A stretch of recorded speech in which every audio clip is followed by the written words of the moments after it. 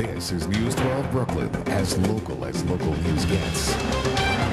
To sports with JB Ricks. Looks like your Spartans are going to be making a mark in our borough. Yeah, yeah, yeah. The Spartans coming in for the very first race here in New York.